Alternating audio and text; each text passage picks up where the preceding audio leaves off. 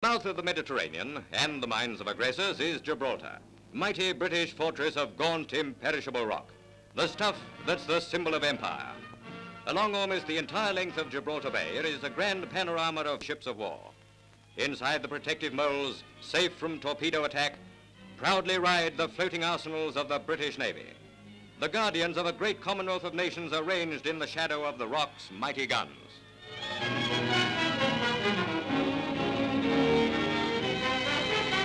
The new mole extension is the scene of many comings and goings, and a view from the rock embraces the crowded buildings of the town. But always in the foreground is the Navy. The people of Gibraltar like to feel there's a man of war about the house. Lying snug at their moorings are the underwater craft and the destroyers. Barbary apes can still be found on the upper rock. Ah, he's got something there. And the ancient steps are much the same as they were when the Spaniards lived there. Our possession of Gib means a short sea route for urgent convoys through the Mediterranean and Red Sea, and from East Africa to Australia, India, and the Straits. But if there was no Gib, our ships would have to travel the long route by way of the Cape.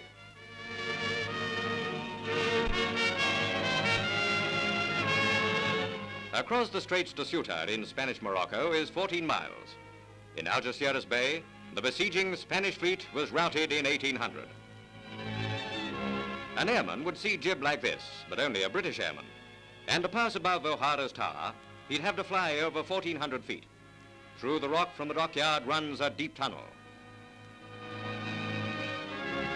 Gib is about three miles long from Europa Point in the south to the Spanish mainland. In elevation form, you'd get a better impression of lofty O'Hara, lone sentinel of the rock.